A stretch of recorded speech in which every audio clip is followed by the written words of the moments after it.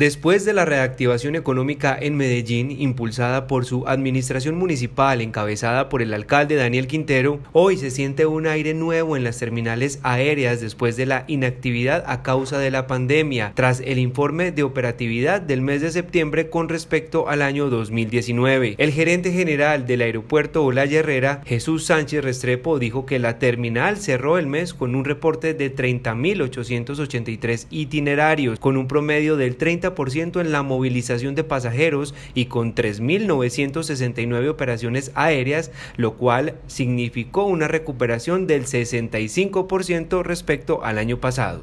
Podemos dar un balance muy positivo.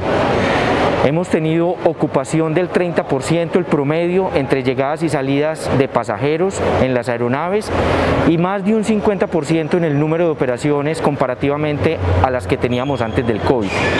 Esto es un mensaje muy esperanzador porque las cifras están mostrando signos de reactivación y al activarse el sector del transporte aéreo se activan otros sectores de la economía de la ciudad, del, departamento y del país. Algunos de los destinos seleccionados por los viajeros tanto para ingresos como salidas son Pereira, Bogotá, Cali, Nuquí, Barranquilla, entre otros. El aeropuerto José María Córdoba llegó al 15% de operatividad con 88.249 viajeros con destinos como Bogotá, Cali, Barranquilla, Cartagena y Nueva York. Por otra parte, el gerente general reiteró la importancia del cumplimiento de las normas de bioseguridad para seguir volando seguros, haciendo énfasis en el distanciamiento en las filas, el uso permanente de las mascarillas y el lavado constante de las manos.